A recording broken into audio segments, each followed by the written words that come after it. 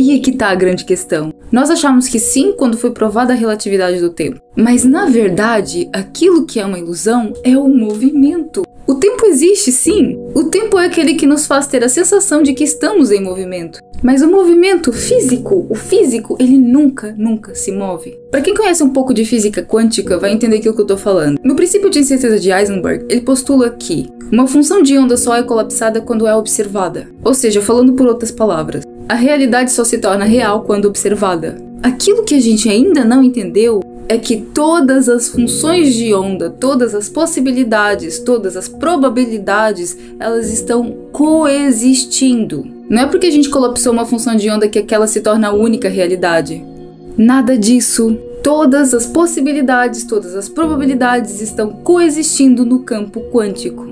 Agora, aquilo que nos faz ter essa sensação de que existe apenas uma realidade é o movimento efetuado pela nossa consciência, aquele que observa. E quando eu falo aquele que observa, eu não estou falando de pessoas com olhos, eu estou falando da consciência observadora do instante presente. Porque não se esqueçam, nós não somos o nosso corpo, nós não somos a nossa identidade, nós não somos a nossa profissão, nós não somos os nossos sonhos, nós não somos os nossos pensamentos, nada disso. Nós somos nós somos apenas os observadores de todas essas coisas. Você é o observador do personagem que você acredita ser você. Você é o observador do personagem que você criou e desenvolveu desde o momento do seu nascimento. E a cada instante, a cada mudança de localização no espaço e no tempo, você cria uma nova linha de tempo, de uma nova característica que você pode desenvolver.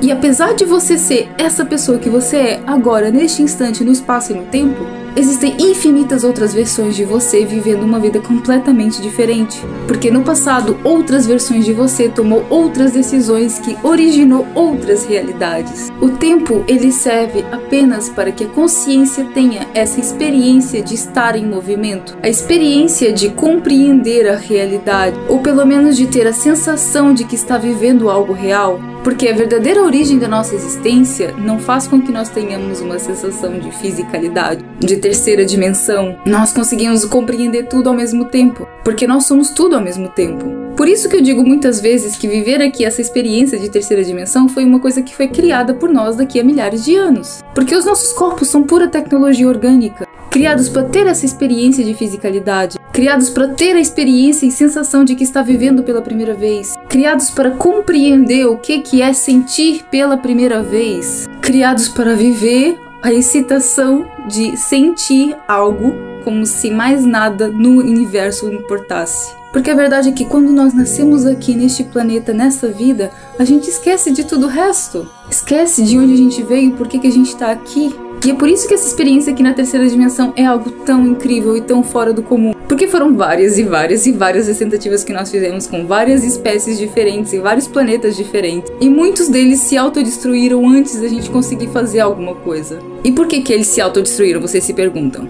Exatamente pelo mesmo motivo daquilo que está acontecendo no nosso planeta agora. As pessoas estão totalmente desconectadas de quem são realmente e por que que existem a tal ponto que a única coisa que elas conseguem ter e sentir é raiva, ódio e medo. E por isso querem destruir tudo à sua volta.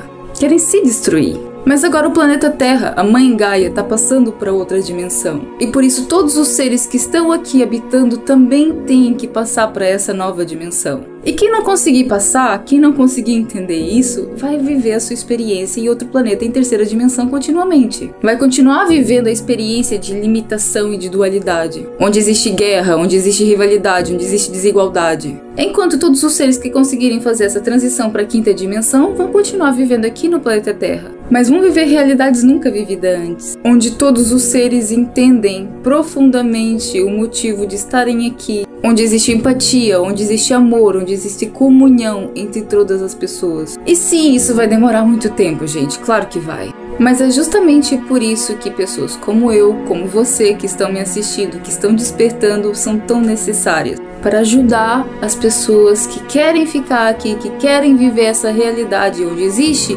amor e companheirismo e irmandade entre todos, possa ser possível.